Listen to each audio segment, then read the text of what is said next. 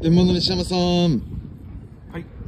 2月27日はい。火曜日、はい。ラーメン西山屋天気予報の時間です。はい。アリースアリス。じゃあ木村君、空見ましょうか。はい。どんな感じですか？今日は晴れそうなんですかね。はい、今日は晴れますね。はい。最高気温が11度、はい。最低気温が6度になってますね。はい。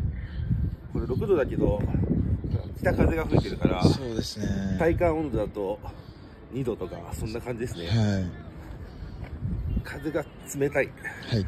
そんな朝になってますね。そうですね。昨日疲れましたよ。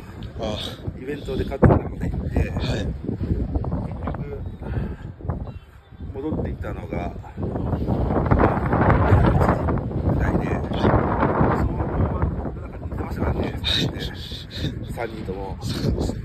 僕は運転してて、はいたどり着いて、みんな寝てんなと思って、僕も寝ちゃいました。気づいたら深夜2時ですよ。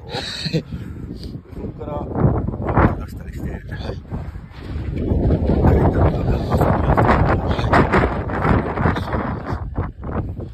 ったらずっと起きてますからね。あ土曜日がイベント、日曜日イベントって感じだったから、はい結構、本当眠そうでしたね。あ。はい。でまあ、みんな楽しんでくれたんで、よはい。かったかなって感じです。そうですね。寒いです。はい。寒いです。今週も、まあ楽しんで、はい。仕事しようかなって感じですね。はい。ラーメン、西山屋天気予報の時間でした。はい。寒いっす。寒いです。アリスアリス。